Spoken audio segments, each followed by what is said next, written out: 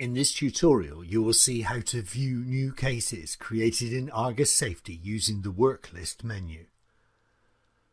Once your system administrator assigns you to a workgroup, you will be able to work on safety cases using the Work List menu.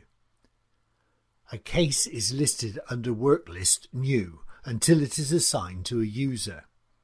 Once the user accepts it, the case is moved to Work List Open.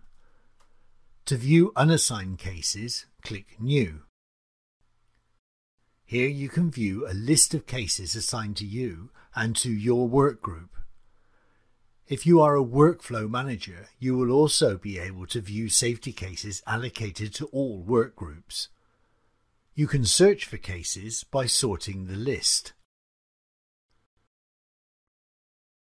or by using filters.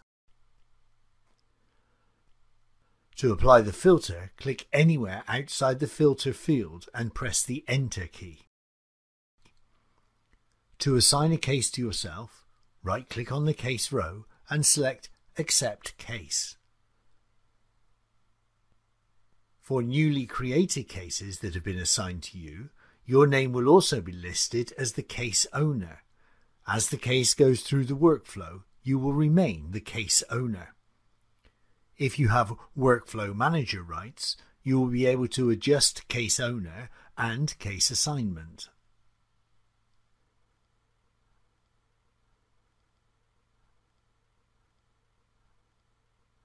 As a case has been assigned to you, it will be listed under Worklist Open and will no longer be listed under Worklist New.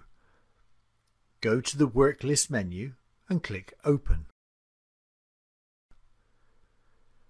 Here you can find your assigned cases. You can click on a case number to enter the case and update it. If you need more information, go to the Help pages.